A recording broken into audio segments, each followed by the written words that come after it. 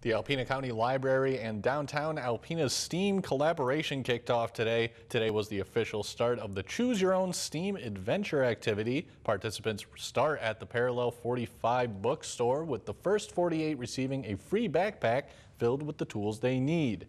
There they start to read and play through a written scenario to find their grandfather. Head of Public Services at the library, Christina Markowski, has a tease of some of the learning activities. Throughout the whole adventure, you'll have challenges or STEM activities to complete. One of my favorite ones is creating a balloon rocket with a string, a straw, and a balloon. Uh, and one of the other ones is making a butterfly, and it's a movable butterfly.